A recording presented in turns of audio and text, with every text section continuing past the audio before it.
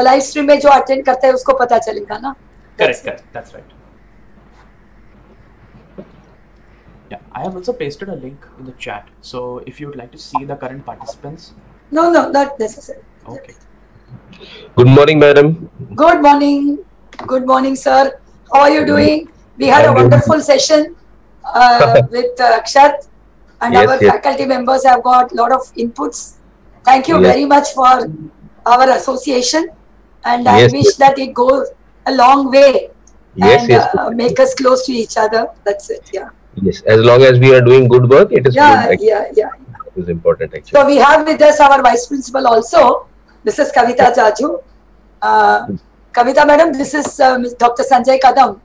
Good morning. Yes, yeah, good morning, good morning, sir. And uh, all the three sessions, two sessions that we had, Dr. Sanjay Kadam. yeah. And all the sessions, sessions that we had, all the sessions were wonderful.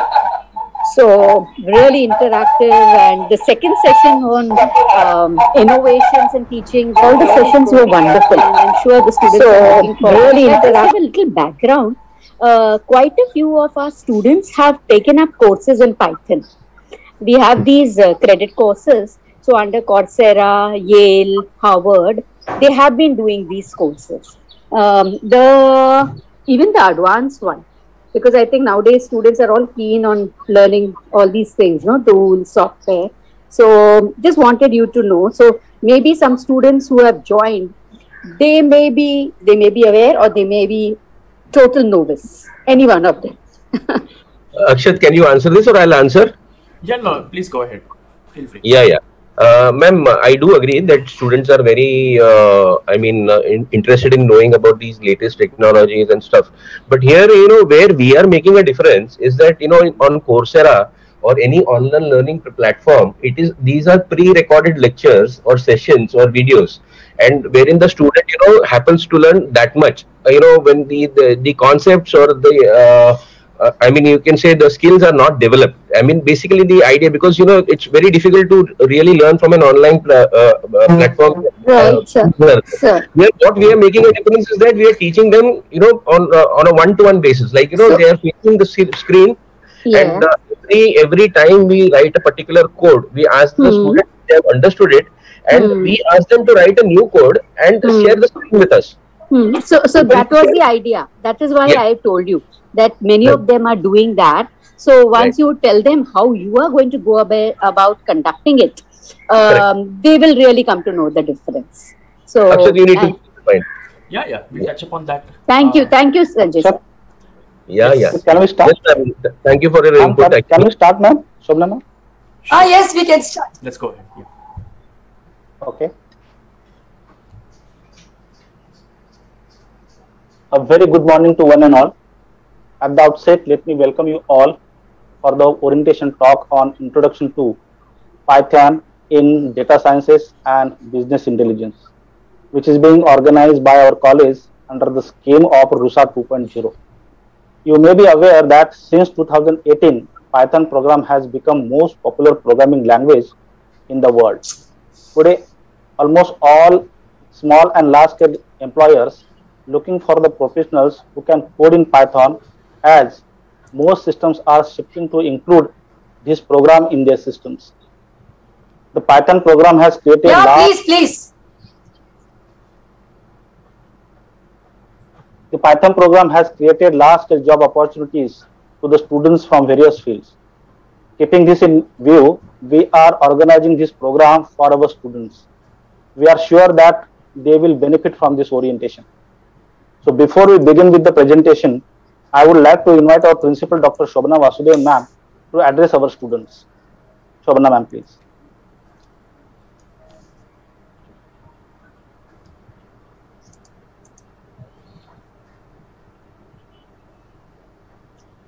Uh, good morning, everybody, my dear students and the staff members who have joined.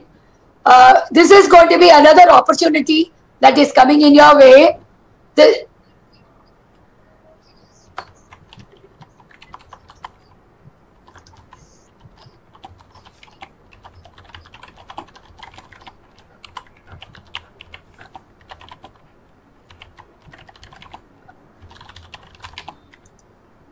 Ma'am, we could hear you. We could hear you very clearly. Yes, madam. Please continue.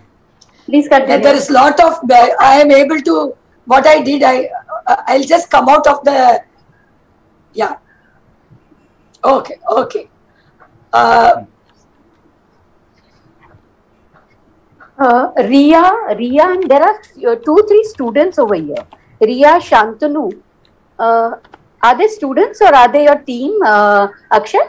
Uh, no, I don't believe. they Yeah, because I I, think they are students, Shantanu, yeah, Shan- Yes, sorry, they yeah. Shantanu and Ria have been answering their emails, so I know. Shan, uh, there's another Shantanu. Ria, you could join the YouTube link, beta. Sure, ma'am. Yeah, and Shantanu, Yes, ma'am.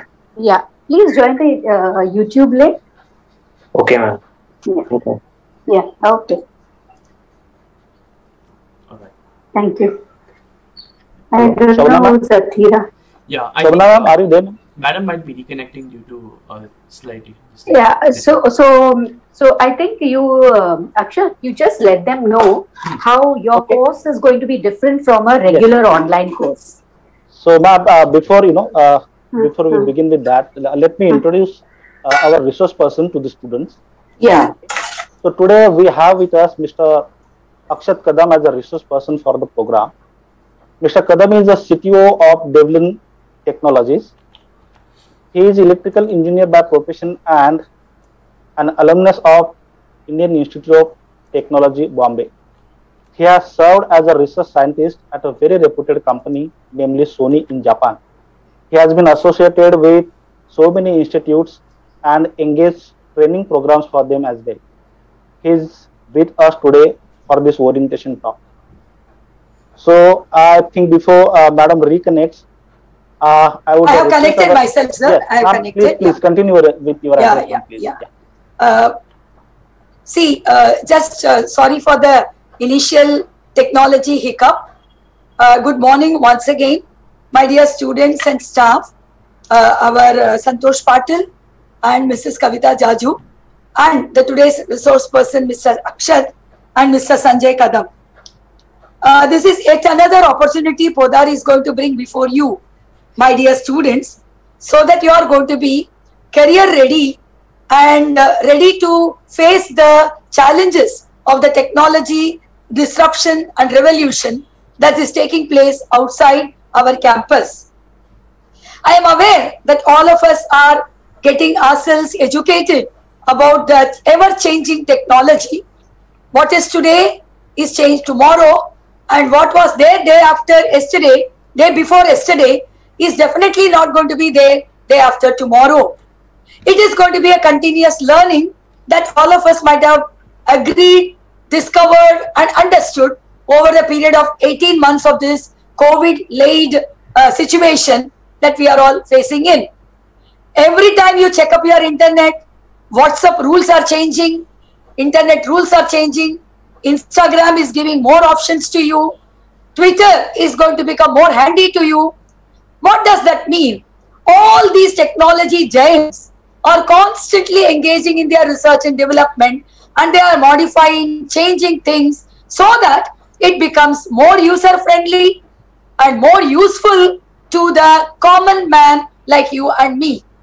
Tomorrow we will join a bank or an insurance company or become a marketing manager of uh, uh, a, a FMCG or we may become a professional chartered accountant, whatever that we are going to do.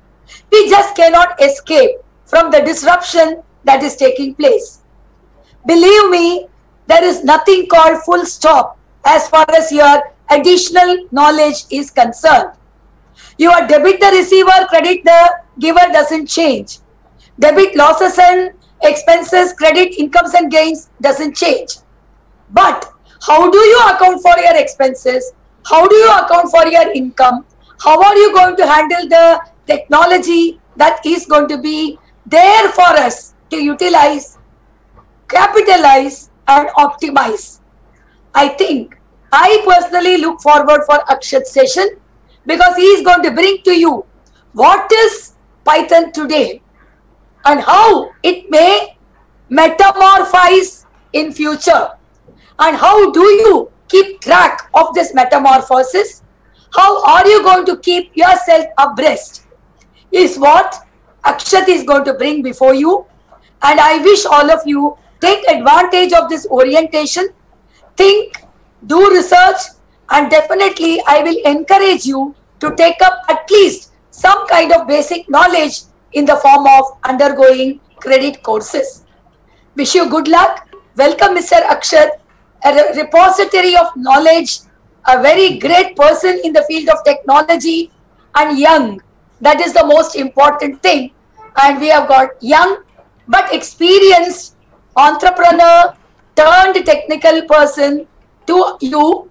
And welcome to you, Akshat, over for your session. Yes, thank you so much, madam, and uh, just appreciate the absolutely fantastic uh, uh, introduction that you have just offered for me. Now, let me just also give a short intro of myself, and we'll just. Um, yeah, so this is uh, basically a short profile of myself, and uh, what we will be doing today is that uh, today, for all of you students of Podar College, what we have brought is we have a session today in uh, understanding what Python is and its importance in today's fields of uh, data analytics and also uh, how it plays a role in business intelligence today. So, uh, this is a short agenda. It's a very short session. Uh, we're already 10 minutes in uh, into a one hour session. So, I'll be speaking for about, say, let's say 30 to 40 minutes. And I would just expect everybody to sit back and just hear it, listen into the session with an open mind and just try to absorb a few, you know, key concepts or um, you know key facts that you may come across today in the session. And uh, i'm hoping that this is more of also a general awareness education about what is happening in the market. And hopefully uh, in the second half of the talk i can just try to drive home a few points about why today python has become the most important programming language as compared to uh, you know any other language today in the history of programming languages especially because uh, it has become an absolutely ubiquitous uh, paradigm for coding and also creating things and the entire global community has come together to use this. So you know today you as a commerce student or as an economic student tomorrow you may feel that hey i will be going into finance and accounting. Uh, why is this course even relevant to me? Should i even be listening in and uh, before i give you any spoilers i would like to just mention that yes, I think uh, this course is still extremely rele- relevant to you, and uh, we will also touch upon those points. So yeah, let's just uh, go right in. Okay, so before we actually start, I think one point that we need to uh, state, you know, that uh, we have been observing in the market today is that a lot of Indian students and graduates are not prepared for the changing requirements of the industry today. And what has been happening is something very unique has happened in this last decade, especially the fact that uh, the global industry has been changing every decade or so. Every five years, there is a major update in all of uh, the developments and the way that companies are even working. But what we, on the other hand, something that we have seen is that educational institutions uh, be it a school or a college or even you know uh, your typical coaching institutes they have not updated themselves to uh, the changing landscape that you know the current industry and companies are requiring. And uh, this is for no typical fault of their own. Uh, it is the inertia of you know a large sector or a large institution that prevents it from that gives it stability but prevents it from being extremely agile but what we do require today is, you know, a massive overhaul and an updation of uh, everything that has happened in the past two decades because the speed of uh, innovation has now been accelerating, which means that every year we are advancing faster than we even advanced the last year. So this is what we at Develearn are aiming to do, especially working with colleges uh, all over Mumbai and Maharashtra. So this is a, just a bit of a background about us. And uh, before I actually talk about Python today, what I would act, uh, like to speak before that is uh, the trigger or you know the precursor to how data analytics and data science as a field even began, and uh, that begins with what uh, this common buzzword that you might have heard today, which is the big data revolution or the AI revolution. So, of course, today AI, I, I will not speak too much about AI because uh, that is another topic and that will probably need a lot of more additional time. But uh, just to tell you how these two things are intertwined, uh, everything started with a change in the way that we experience the internet today. So uh, I'm sure everybody who's in college today, you will not know the kind of internet that I have uh, posted over here in pictures, but probably some of the teachers will, uh, you know, possibly, you know, relate and even resonate with these kind of web pages. Uh, they were very old, and the internet back then did not take. It was mostly like a dictionary, like an encyclopedia, but it did not behave much in terms of getting an active response from the user. Maybe an account that you had on the website was the extent of it. But what has happened since then is that around 2006 is when um, the paradigm changed and the internet became a platform and not just you know a book for people to open and read, but also a place for them to interact and to uh, generate your own types of data. So today you use Facebook, Instagram, Twitter, and YouTube without even thinking. You uh, watch videos, you like your friends' posts, you comment on things, and uh, I you should think of this as you know not just uh, you interacting with your friends, but also interacting with the internet and your information that uh, you publish to these websites. That is today linked to your persona, and it helps companies understand who you are as a person without ever meeting you in person or without ever interacting with you directly and that is what is happening. It's not just that you are doing this to serve companies, but uh, it is also created a big internet global community where people are able to help each other through open source communities and uh, creating content for people themselves by people. But uh, without getting into the nitty gritties of uh, everything that has opened up, the main takeaway from this point is that big data is basically the explosion of data that has happened since the, every person on the in the world who has an internet connection started generating data every day and suddenly from uh, data being just you know uh, that the kind that you collect from say feedback forms the paper feedback forms or online uh, login information it has suddenly and you know maybe just a phone number. That today it has even become likes. It has become uh, everything that you buy on amazon. Every uh, travel website that you visit, every review that you read online, and also uh, how you manage your expenses, and even, of course, not to mention everything that you watch on, say, Netflix or even uh, Hotstar. So that is also feeded into, you know, some company system where they help. Uh, they are trying to create or improve their product to suit you better, so that you will keep consuming it. So it's not necessarily a bad thing. It has led to immense amounts of efficiency and uh, global economic output. And that is all powered by this giant explosion of data that today, for the sake of just understanding, let's call it big data.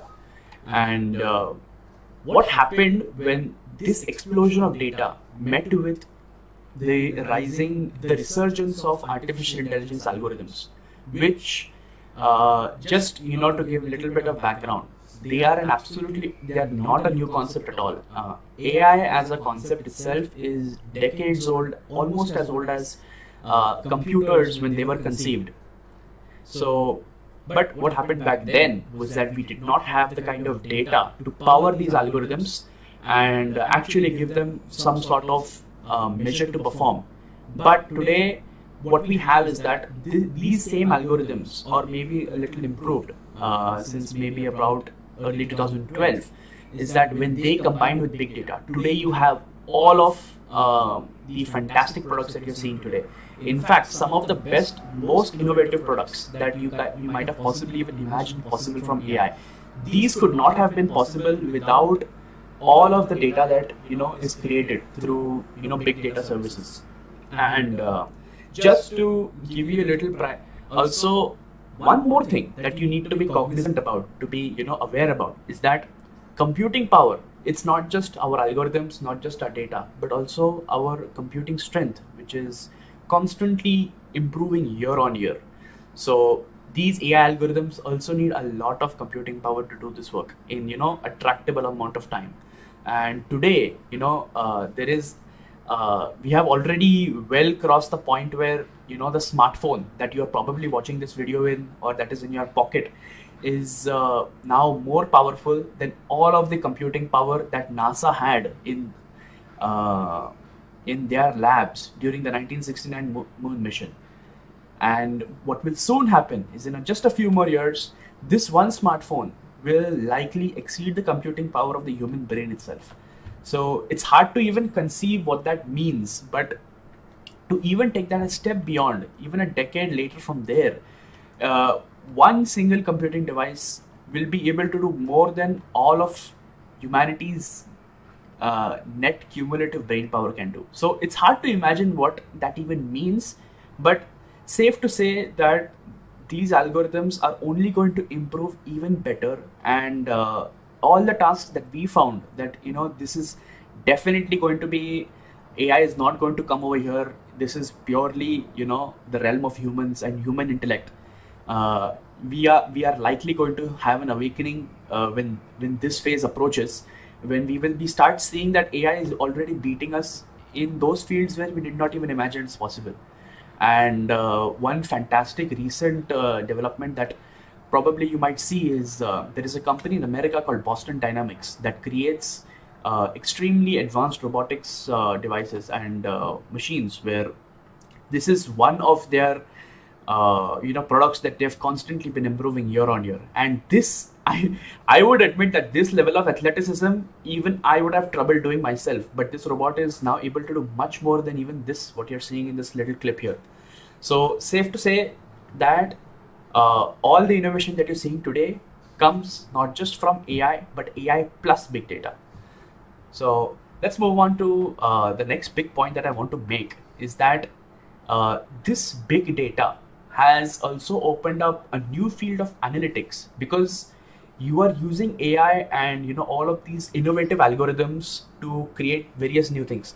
But at the base level, what happens is that you still have a lot of data that you need to generate, uh, you know, real inferences from, do real work from, and uh, we'll just take a look at a few examples here. And uh, you know, sometimes people think that okay, fine, AI is doing all these nice things, it will creating these innovative products but uh, maybe you have not even realized that you know this technology has not even spared the field of law.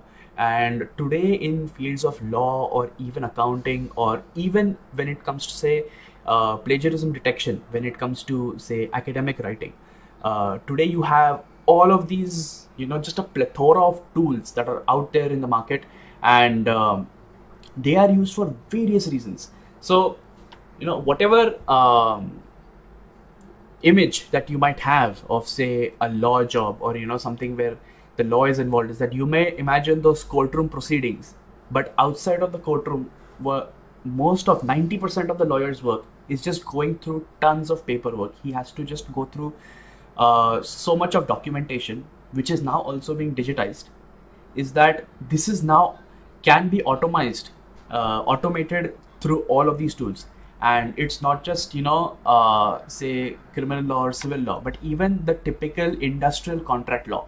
Tomorrow if you are working in a firm and your firm has to go through so much paperwork every day uh, you will soon realize that in time uh, a lot of this work will not depend on humans. It will these companies will depend on all of these softwares which uh, just slash out the time and cost for everybody. Now what has this has led to is this has led to a new industry popping up uh, which was probably did not exist uh, you know over a decade ago which we now call SaaS which is software as a service. And uh, there are startups small and large businesses whose entire business is focusing on creating a product that other businesses use. And uh, this entire b2b expansion is now further powered by ai because ai is now able to literally replace you know hours and hours of human labor with minutes of computing power. And uh, you know what they say with, about computers is that they do not tire they do not make mistakes. So it will def- it's going to be cheaper for them and companies will shift to this in time. So this is something that you should all be aware of of these developments also happening if you are going to remain in this field and remain on top of these things. So let's just take a look at another application which uh, probably everybody would be aware of, you know, as unlike the last one, which is you know the impact of AI in retail, and uh, you know one of the biggest AI products that uh, you know we have seen in this past five years is you know just the invention of recommendation systems. Because uh, the very fact that you can take all of the data that people are uh, that is generated when people interact with your website your online store and just improve the person's experience increase their likelihood of purchasing these products. All of this is possible because of recommendation systems. They help people keep coming back. Uh, you know you've ever had that conversation with uh, your friends where uh, you just google searched for something once and the next time you started getting ads for it you start every time you opened amazon you started seeing ads for it. And you just thought that oh my god my phone is literally stalking me well uh, this is exactly what is happening in the back where it is taking your information and it is giving you uh, recommendations based on that. So uh, and of course a natural extension of this is that of you know chatbots and robocallers where you know if you have businesses today big startups and unicorns that are so big that they constantly have thousands of customers interacting with their website and you cannot have uh, you know the you cannot hire a literal call center for you know just handling customer inquiries. So these companies are using chatbots. They are using robocallers instead of telemarketers. And uh, this is again led to another huge saving of costs for these companies and uh, it will only keep going in this direction. So uh, if you've seen this much you might be thinking okay so some of these jobs are not going to be there anymore. Maybe I, should i be worried? Uh, or i'm going to be working in uh, you know say accounting or maybe i'll be doing a job that uh, you know i i won't have to worry about chatbots or robocallers. But uh, another thing that will happen is if you're going to be interacting with a client ever you know in your say prospective career uh, this is maybe something which is you know the next iteration in chatbot technology. So this is something that came maybe just under a year ago and uh, this is Google's uh, absolute latest innovation in chatbot technology. So I'll just play a small clip. It's about a minute long. So just listen in on this summary of uh, what is now possible with uh, this chatbot. It's not just limited to one particular context, but this chatbot can literally talk to you like uh, a complete human being. As a stranger, it would interact with you. Google has released a neural network powered chatbot called Meena that they claim is better than any other chatbot out there. The secret behind Meena's conversational skills is the crazy amount of data it was trained on, about 341 gigabytes of text, or to put that in more understandable terms, 40 billion words, including millions of social media conversations. What separates Meena from other chatbots is its ability to give specific context dependent answers. For example, if you say, I like football, and a chatbot replies, that's nice, the response makes sense, but is not specific. So let's try chatting with Meena. As you can see from the chat logs, Meena not only answers questions sensibly and coherently, but is even capable of cracking a joke. Next, you see a selection of topics where the user talks with Meena about movies, and the bot even expresses the desire to see these movies too. This is very human-like. Meena even tried to come up with a proper definition of philosophy. These scholarly-like attempts to answer such deep questions is much more advanced than previous state-of-the-art chatbots. In order to understand how Meena works, you need to read Google AI's recent paper, Towards a Human-like Open Domain Chatbot. Meena's main architecture is a sequence-to-sequence model. Okay, so this uh, goes into the details of you know what is exactly inside the internal AI architecture.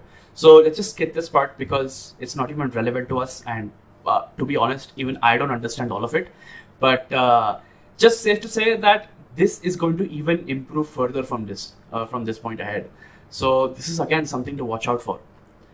Okay, so that brings us to the end social media. uh, our first section, and uh, where I was just giving you a small brief or just a, a slight teaser into you know what is happening in the world of AI, especially uh, the recent innovations that are taking place. Now, you know, as a student today, uh, you would be thinking, okay, fine. Uh, how does this relate to me or what can I do about it? Uh, whether you know can me learning Python programming even help and what is the sort of job that I am expected to work on. So let's just see if we can take uh, a bit of a look uh, about this. All right.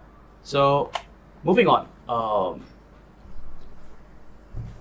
the biggest thing that we have seen right now is that is that digitization is now accelerating automation and uh, so many organizations today are now moving from you know just so much of paperwork and you know completely digitizing their data so that it creates avenues for automation and um, this is also further exemplified by the fact that digital india is a new uh, you know the recent uh, initiative brought by even the government that is pushing businesses to further digitize their data and you know be more independent from uh, all of you know the clunky paperwork and bureaucratic uh, you know limitations that have been plaguing businesses so far. So but you know what is a side effect of this happening is that more and more companies that are now going digital are also you know uh, they are becoming their compatibility with this SaaS market is being extremely high. And uh, these companies that specializing in uh, you know these making automation programs are now popping up and helping you know everybody else who is now you know digitizing their data. And that has created the SaaS industry that I mentioned earlier and uh, even the more direct job where you know uh, today if you were a person that is doing say uh, data scraping or data entries even uh, that job is now completely automated. You you will likely not find data entry jobs anymore other than you know uh, at small companies that have not yet managed to automate this process.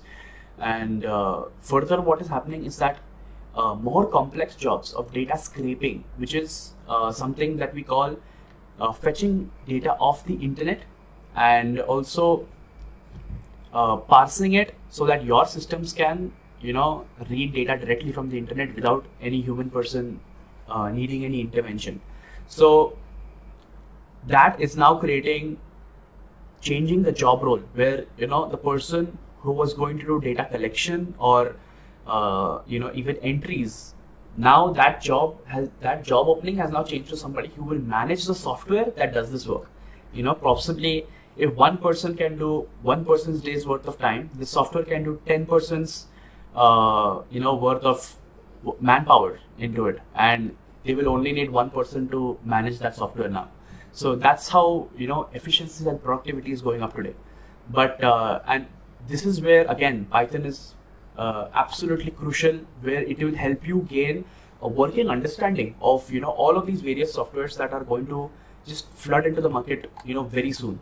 And uh, this is now even just visible over here through just the increasing job trends now, I have just pulled out pulled out a few uh, you know recent job trends that we're seeing in the market. Especially this is slightly old, maybe just a year or two old, but we are seeing that in the last eight years there is an absolutely huge jump in you know the sort of requirements for data scientist, what we call business analyst, and even this data analyst. So anything uh, job roles that have the word data in it and analyst in it or business those have absolutely shot up because of you know companies realizing that you know today if i'm not using this uh, i am actually losing out so 10 years ago if this technology was something that you could not afford today it is a technology that you can't afford not doing and uh, that is why we are seeing you know uh, companies that are even putting out requirements for students that are freshers or even less than 5 years experience and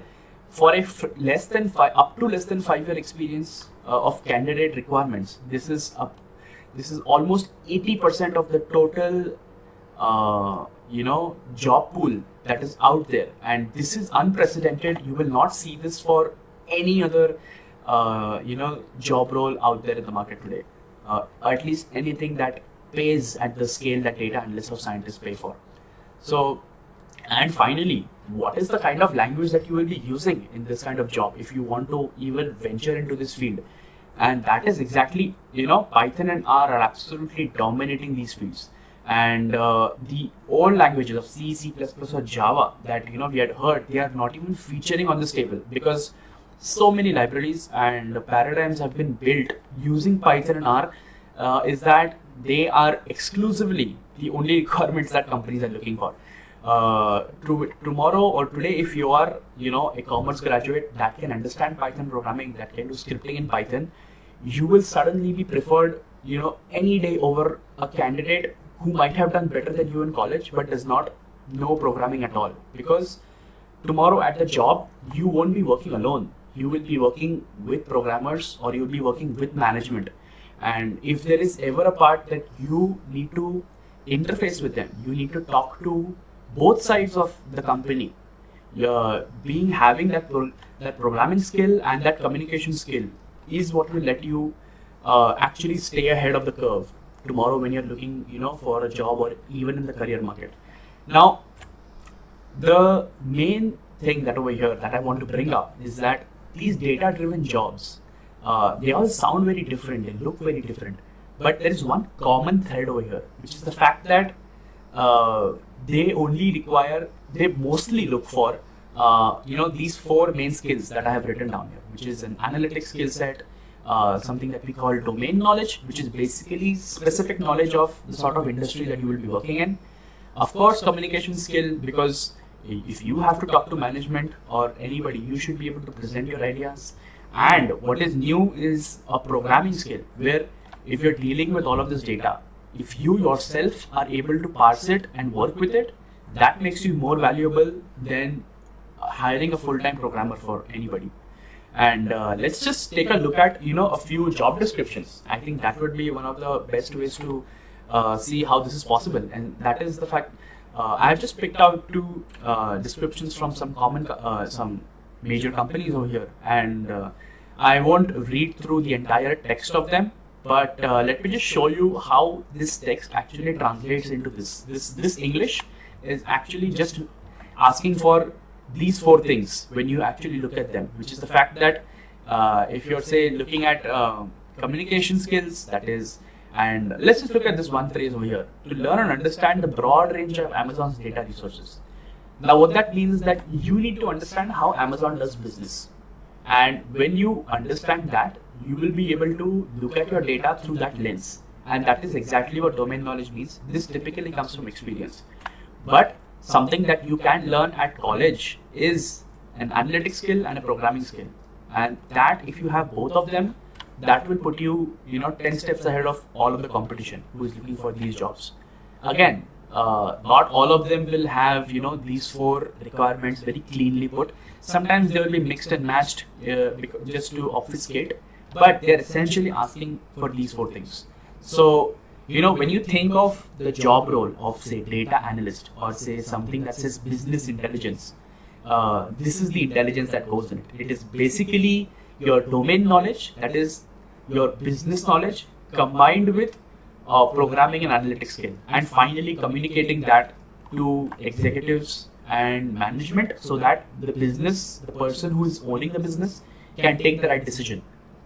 Now this is exactly basically what everybody does. Now let's just take a you know slight look at exactly what is the sort of analytics that you know you do, and uh, that is where we kind of touch upon a little bit upon what data science is, and uh, that basically what it means is that you when you are a data scientist or an analyst, you are not making complicated models or you know making these complex programs every day, day in and day out. You are basically sitting there and you are looking at the business and you're answering simple questions. It all boils down to the answering of questions. And the type of questions that are being asked, whether it is uh, what to do next, why something is happening, or what is happening, the answer differs, of course. And uh, the sort of analysis that you do uh, to come to that answer, those analyses themselves are also, there are methods for them. So these are this is a broad way to describe you know all the sort of analysis that you a data analyst works on and uh, what i've written down here are some popular methods to do these things but uh, let's not worry too much about this it's safe to say that basically it's an entire game of question and answers And when you're effectively able to give answers to questions asked to you, that's when you've succeeded at your job. And uh, this is where now we finally start moving a little bit into how you will start doing these things. If you are to, you know, implement say a statistical model, how will you be doing it? That's when your programming language comes, and uh, that's where it's important to see why Python uh, actually helps not just the scientists or the researchers or the you know the hardcore programmer, the product developer, but also the accountant, the network engineer, the analyst, and uh, let's see. Are there any major questions so far? Uh, sir, have you uh, encountered any questions on the chat? Uh, not yet. All right. No worries. So let me finish this talk and uh, maybe we can see any questions, field any questions towards the end. Finally, um, yeah, so let's actually dive into Python and why it is important that you should attend this course uh, and how it's going to help you. So uh, the one takeaway that you should take from this talk, if you can, is that today, as any person, regardless of your field or whatever you're learning in school, college, or anywhere, if you can learn just one programming language today, it should be Python. Because it's not just you know, like I said, not just software engineers or mathematicians or you know, uh, your scientists or product developers, but also accountants who are doing this. And the biggest testament of the ease of learning Python comes from the fact that today even kids are learning it. So if a child today is at say eighth standard of school, uh, there are places that are contemplating adding it to school curriculums because uh, it helps you create so many complex applications with very little amount of effort and um, and why you would say that why so many different kinds of uh, job you know roles are utilizing python is that uh, it has an absolutely high level syntax. And by that what i mean is uh, it is extremely easy to code in which is another you know way of saying that uh, typing in python you don't have to worry about all of that uh, coding language and jargon. You only have to you know think about what it is you want to do. And it is very similar to coding in english and that's what makes it very attractive to non-engineering students because you don't have to worry about uh, computer architecture or even the fact that uh, you know like what happens to when i have to handle memory or addresses or pointers. Uh, if you remember these concepts from school and they are something that frankly haunt even engineers today because uh, with python everything is you know uh, just wrapped up so neatly in a nice box is that uh, and it handles everything internally. So that completely you know leaves the person free to think about uh, innovating and creating the product that they want. So let's uh, just take a look at what is the popularity. And you know i'm just i just said that everybody's using it. But uh, frankly like to what extent? And if you look at uh, you know just some statistics that we are seeing on stack overflow we are seeing that python has now jumped from uh, at one of the lowest in 2012 just in these last eight years it has now exceeded java even when on the active questions asked and the number of people who are asking questions about python online. So you know frankly to me as somebody who does programming uh, i do not remember a lot of syntax all the time. Uh, what i do is that say you know even if i'm making a very simple application uh, you know say it's opening a file parsing some data from say an xml uh, I have done it before, but when I sit down to do it, I don't exactly remember what exactly was, you know, that little syntax that I used. So I go online and you check. And uh, Stack Overflow is that, you know, haven for developers that helps them constantly uh, quickly check up small syntax and not worry about, you know, small, small things when it comes to coding. And uh, the success of a language is determined by how many people are using it today. So as goes with any language, you know, whether it's English or you know Hindi or anything else. So and again, we're seeing usage is that Python has just grown so much is that it has now overshadowed everything. So that makes it important that today you understand Python at least to the extent of knowing what is going on, so that when you are speaking to engineers, you know what you're talking about, and that will give you that edge that you need, you know, to uh, keep up with all the changes that are happening. So uh, let's take a actually a more concrete example and as to how these things will actually impact you tomorrow. So before, you know, if you would have looked at uh, Microsoft Excel, you know, something that uh, is just staple, it's bread and butter for anybody, for any accountant or anybody who deals with data. And uh, earlier, you know, the what you could call the pinnacle of say Excel processing was uh, what you would call macros using Visual Basic, which is VBA, and uh, using some level of programming, you could automate a lot of processes in Excel. But again, you were there was a limit to what you could do, and of course, the data was it was all supposed to be on the sheet itself.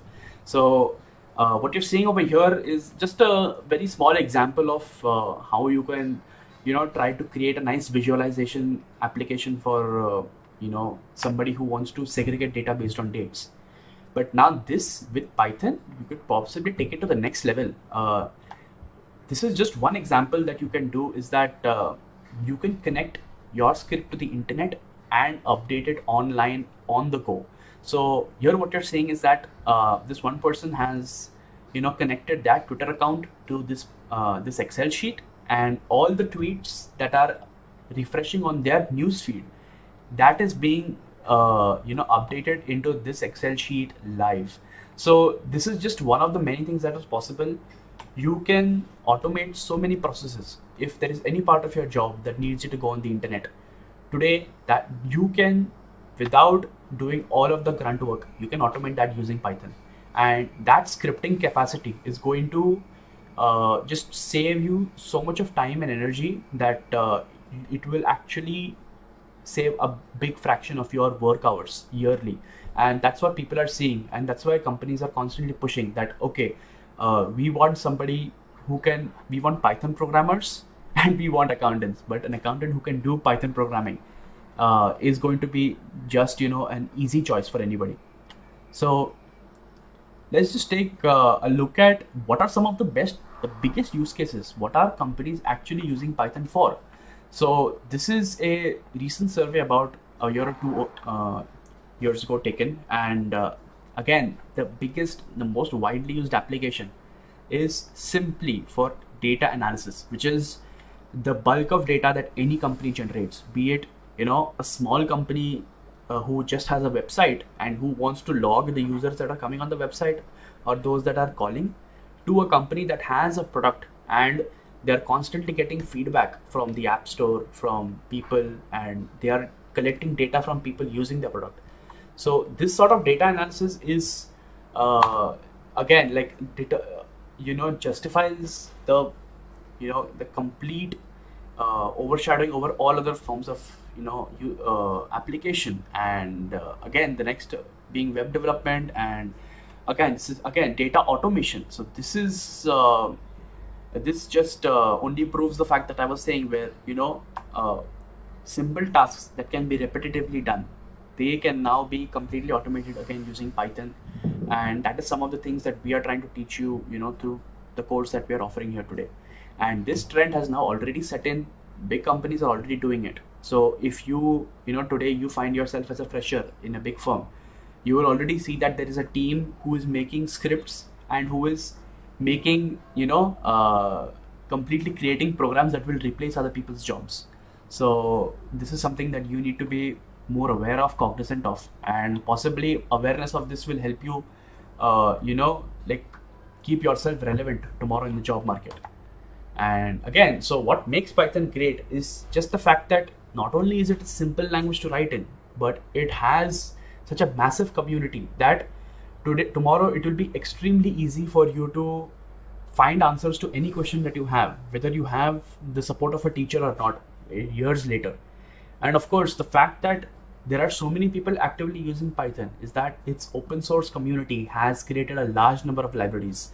And that just means that tomorrow if you want to do anything very specific if you know c or c++ or java uh, nobody might have done that. But in python it's very likely that somebody has already done faced the same problem that you have created a tool for it and just posted it for you know everybody else to use. And that's you know you can take advantage of that.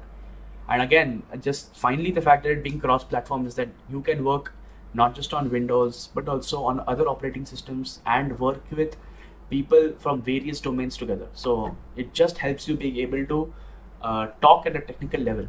And that's going to you know uh, just be a big you know a skill that you should you would like to have for the rest of your life. And um, yeah finally we are uh, coming to the end of uh, my little talk over here. And uh, so what we are doing is that uh, we at Develearn are bringing this Python course to you know all students of Podar College. And I would strongly recommend that everybody watching this should sign up for this course uh, because it is a complete foundational course. We are going to teach you from the ground up you know uh, even if you have absolutely no background in programming and uh, you will be able to you know from the first lecture where you will probably even learn what a data type is uh, towards the end we will bring you up to a level where you will be able to actually code a small application on something. Or you know with a piece of data on excel you will be able to perform a piece of analysis uh, do certain visualization. And uh, there will be a real sense of achievement with that and of course not to mention uh, this is different from you know the sort of online lectures that you will see if you know if you go to udemy or any other you know online learning platform. Uh, they will not only charge you fees but they will also you will only find that there are uh, a bunch of video lectures that are put online and you have to uh, view them and you know rack your own brain to learn the same concepts. Uh, nobody is going to you know solve your doubts out there maybe they might have a few sessions you know depending on the platform. But uh, what we are doing is we are giving you a live one-on-one kind uh, a level of detail attention. And uh, every lecture you will be setting hands on whatever the teacher is teaching you. At the first half of the lecture the second half you will be trying to practice that. So day in and day out you will have that feeling ki, yes today i tried something new. Tomorrow i tried something. I'm going to learn that and uh, we're going to have small assignments. They're going to be very easy to do. And uh, you know it's again self-paced. But with the advantage of having a person actually understand where it is that what aspect you're not getting and to tell you you know how to think through it. And again like this should just make choosing this course a no-brainer which is the fact that we at Develearn have uh, collaborated with Podar College and RUSA to make this course completely sponsored. So if you're a student of Khalsa College, uh, this course is completely free for you. Like you only have to sign up and attend uh, diligently. And the end, uh, given that you complete all the assignments, uh, you will be eligible for, you know, a certificate, and that will actually have standing tomorrow when you want to show your credentials to people. Yeah. So uh, this is just a small look at you know what the course is going to actually talk about. Where uh, I understanding that you know all the students here do not come from a science background, and uh, you know probably there is also a lot of fear that you know uh, how will I even start programming? I've never I've never even opened you know I've never written any piece of code before. Is it can I still do this course? And the answer to that is yes, because we will start from the absolute basics and you know from the first two or three lectures where you will learn to you know write that first piece of code and you know the, just the simple fact that your first uh, piece of code that you will write in python will just be one line and you can print something which is just hello world. And uh, the same thing if you were doing in c or c++ possibly that reaching that hello world would take at least three lectures because uh, you would have to be taught how to import libraries how to set up your environment and uh, how how to you know understand all the you know the the jargon that goes beyond just printing one piece of code one line. So again it's going to be fun because you're going to be able to do it very easily. Uh, day in and day out like with just a few lines you will realize that you're able to uh, execute things and you're able to solve uh, you know simple problems. And that's how we will slowly ramp up take it up to you know a little bit of complexity where you will understand that tomorrow if you're looking at a complex bit of code what is the structure uh, the entire paradigm of object oriented programming which uh, is how everybody makes products today is uh, we will not we will help you understand that paradigm and you will also uh, you know create a few uh, examples assignments in it. And what will happen is with that exposure tomorrow if you're looking at some automation script that is using this you know at least you'll be able to talk to the engineer you will be able to see if you know somebody messed around with that code maybe you can also probably fix it and that is going to help you so much uh, uh, after that. So, and the final uh, thing that will help you as a budding data analyst or you know even somebody who wants to go into business intelligence is going to be the libraries that you use in Python, which is the strength of the entire language, which is uh, all of the complicated things that are being able to done with one piece of function that is that you can call by using a library. So we are going to show you how to do that, how to visualize all sorts of data, you know, through Python, and uh, it will ramp up from an absolute, you know, ABC level to uh, doing real data analysis on, you know, some piece of data. So uh, I strongly recommend that you should take this course as, you know, a foundation, and it will only open up avenues for you tomorrow for anything else that you might want to do in your career. So strongly recommend this, and that brings us to the end of the talk. So thank you very much for listening in and uh, joining in the chat. So, Patil sir, shall we uh, field a few questions if there are any? Yes, yes. There are there are few questions, sir. Uh, Yeah. One question is from Gi- uh, Veena Girish. She is asking, Yes. is Python similar to Java? Okay. Sir, your voice is not very audible, until sir. My voice, ma'am. Yeah, now it. Is Is it clear now? Yeah. Yeah. Okay. Okay. One question is there that uh, Mhm. uh, from Veena Girish. She is asking about, uh, is Python similar to Java? Right. Okay. So, Veena thanks for the question. And uh, the short answer to that is no, because uh, Java is a language that I will, let me just show you uh, through this, uh, you know, chart is that uh, Java is a language that almost exclusively functions on object-oriented programming. And, you know, writing simple code in Java is not simple, in fact. So, uh, I would say that, you know, if you already have a background in Java, you will find learning Python extremely easy. And uh, if you don't have a background in Java, then I would recommend that before learning any language, first learn Python because uh, the barrier to entry, the ease of learning is so less, uh, is so good that uh, you know you won't be worried about uh, understanding all the internals that are happening inside the code, and only worry about uh, what it is that you have to do and the logic of your code. That's it. So, uh, like maybe I can show some examples uh, later on, but yeah, the short answer is that no, Python is uh, slightly different framework than Java. Yeah, Yeah. Uh, there is one more question uh, from uh, Suresh Hiremath. right. Uh, he asked, what is the scope of MySQL and Visual Basics in data analysis? Absolutely. This is a fantastic question. In fact, uh, I would have loved to touch a bit upon it, but uh, the fact that uh, we wanted to keep the talk short and crisp is that I did not speak about it. But if tomorrow you're going to be a data analyst and you're going to deal with the large amounts of data that you know are being generated in your company, uh, what will happen is that it's not just Python that you need to be, uh, you know, you need to understand, but also you would should probably be able to understand how data is being pipelined and warehoused in your system. Let me uh, just show uh, one interesting chart that you know possibly I like to bring up, and uh, that is this: the fact that uh, so this is uh, you know a sort of Bible chart for almost anybody, any company, or you know any data scientist to understand you know what are the needs of a company when you want to use these advanced technologies. And the fact is that most companies are not going to need this tip of uh, this extreme pinnacle which is you know constantly using ai or deep learning because as a company either ai is your product that is you are a startup and you are building something that's powered by ai or uh, your product is powered by AI. So you are your product is something else that your company has been doing for years and years, and uh, you are only improving it with AI or uh, you know data analysis.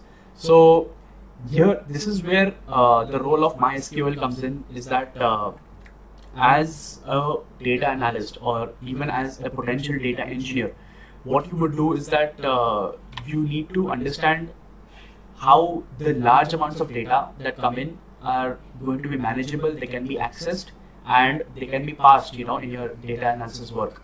So, if you're part of a big company, you will likely be speaking to a data engineer, you know, who will be dealing with this stuff. So, understanding of MySQL uh, is extremely important as you know the next step of after post learning Python if you want to be uh, if you want to build your career in these technologies.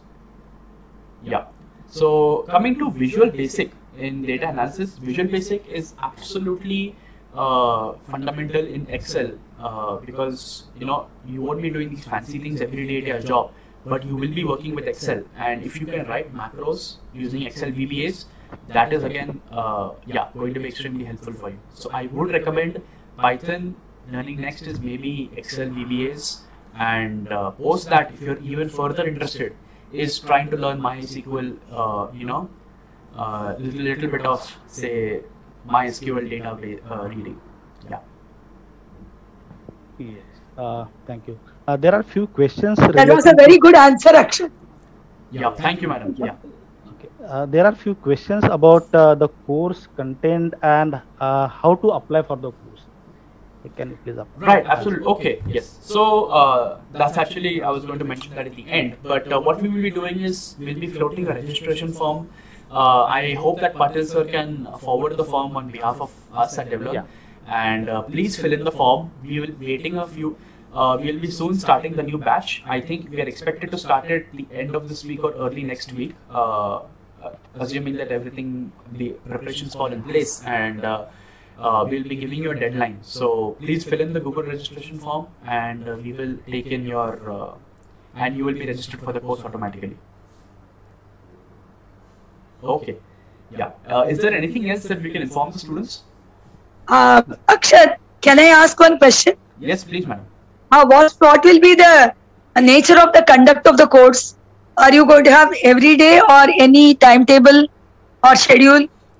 Yes, yes. So, uh, can I just ask Dr. Kadam uh, to chime in over here uh, to see if we can.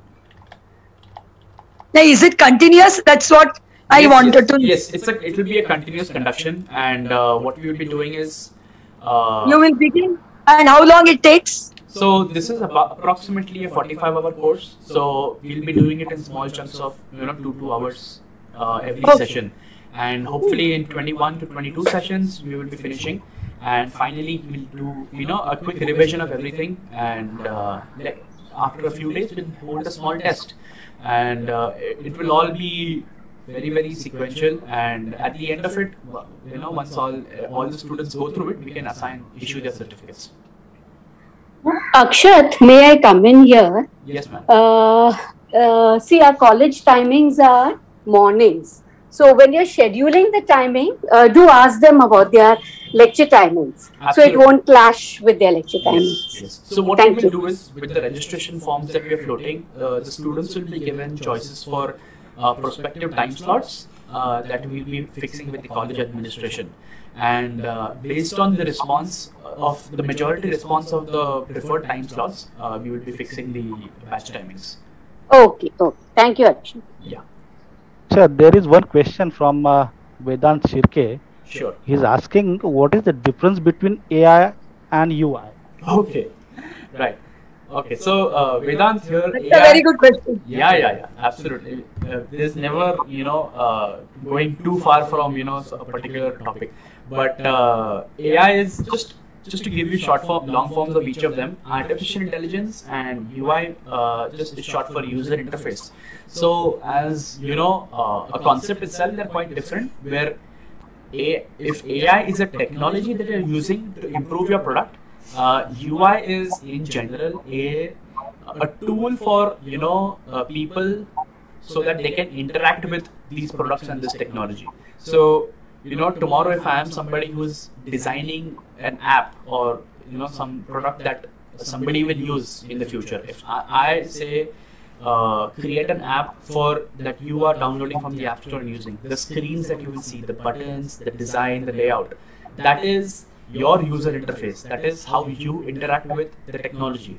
So again that's how the word the term user interface comes in. And what is happening at the backside you know at the back after you press the button when the analysis happens that is say powered by ai uh, as an instance if not by you know anything uh, say less complicated. Akshat, can I say? Yeah, For me, uh, muting and muting, touching the button Right. is user interface. And what happens when that mute button is uh, pressed and unmute is it's AI. Am I right?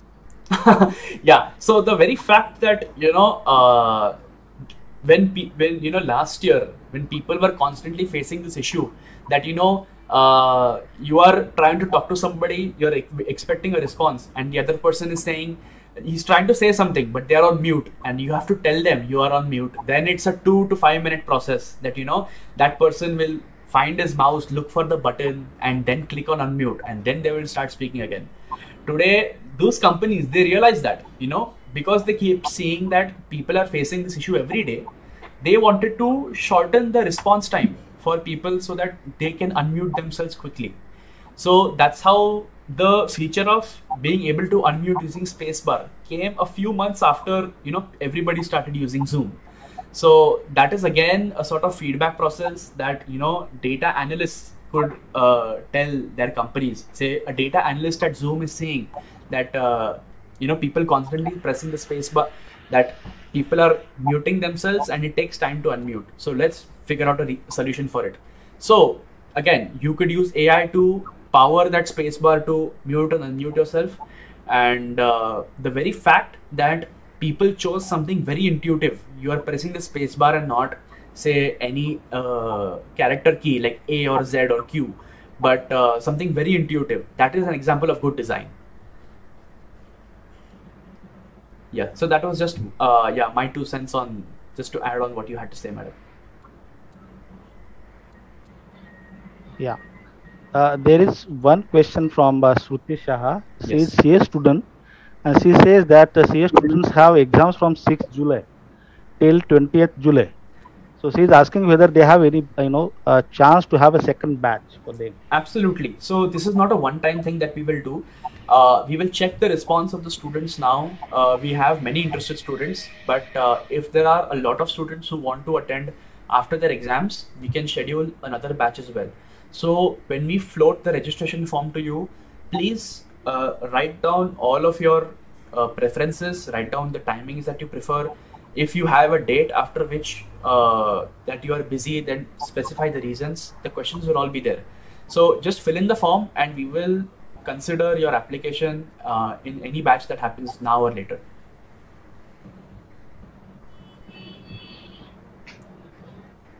Okay, sir, you have answered all the questions. Yeah, thank you. I think we're a little over time as well, so I won't uh, keep you. So even the students might have other lectures to attend. Okay. Yeah. So I'll, I'll propose vote of thanks uh, at the end of this uh, wonderful session. Uh, thank you, Akshat sir, for uh, your wonderful presentation. It was really very informative and useful for all of us. You have touched upon so many, you know, uh, components of this technology, which is going to be very useful for the students for job opportunities in Python and skill required for it. You have also touched upon AI technology, its impact on retail, chat box technology, digitization, and how it is, you know, accelerating the automation process and all. So, uh, thank you for uh, giving us a wonderful, you know, uh, this presentation. I think uh, our students will definitely benefit uh, from it. Uh, thank you uh, for Thank your you so. I also would like to thank you, Akshat.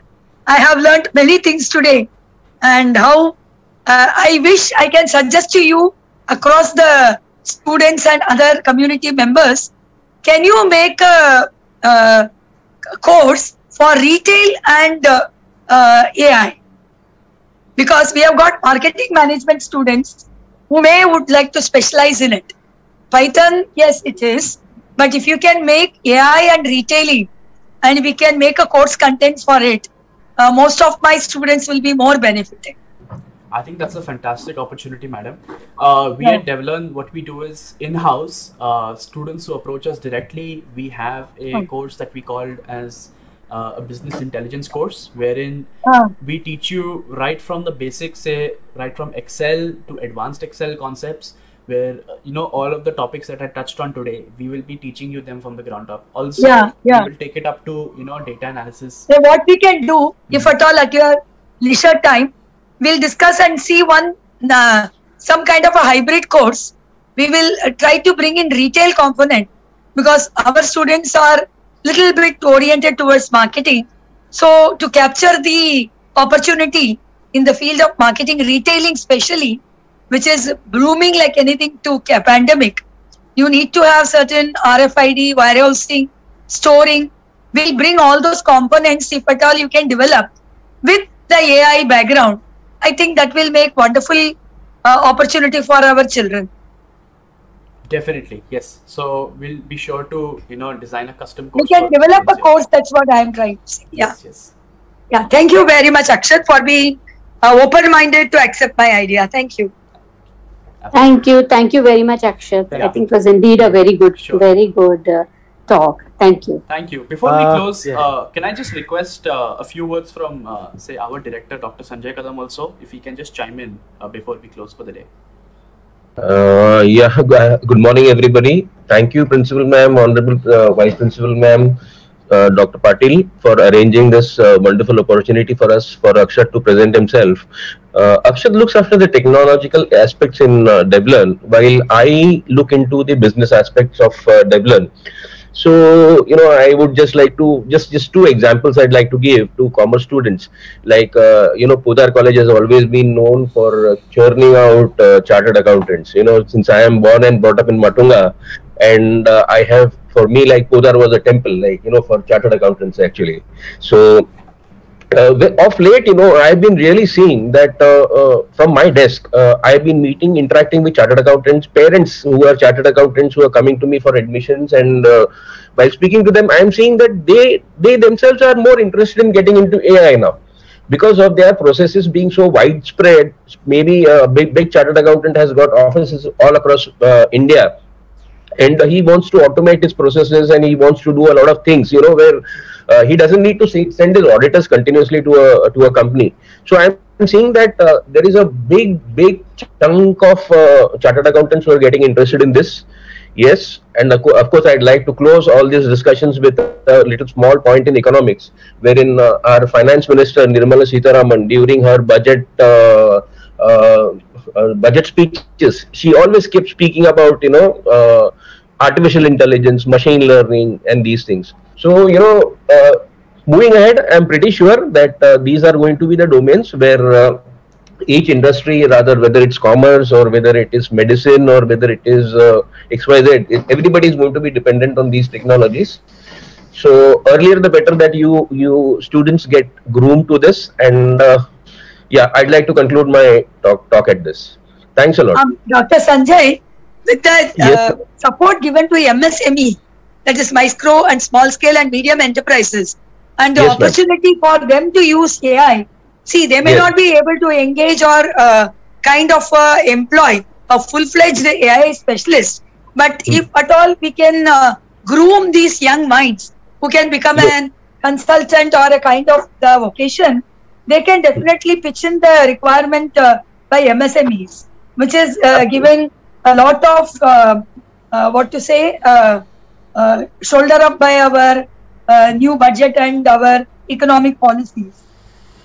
Correct ma'am correct ma'am i do understand we can always do that rather we would also look at you know once uh, as a part of uh, as a continuing process you know when the students they uh, first they learn python then they learn Yeah. other technologies may, maybe they can turn out to be entrepreneurs and there are the, there is a lot of fillip going on for uh, for such avenues you know where uh, where you, uh, you should be job uh, creators and not Yeah. job seekers actually Yes, sir. Thank you very much for your words of wisdom.